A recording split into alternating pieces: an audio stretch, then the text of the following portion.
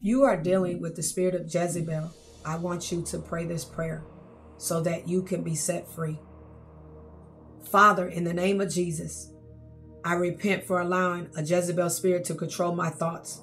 Forgive me for coming into agreement with Jezebel's immortality and, and idolatry.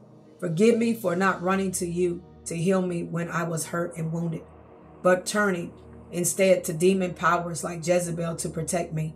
I renounce the spirit of rejection, hurts, and wounds that open the door for Jezebel's influence in my life.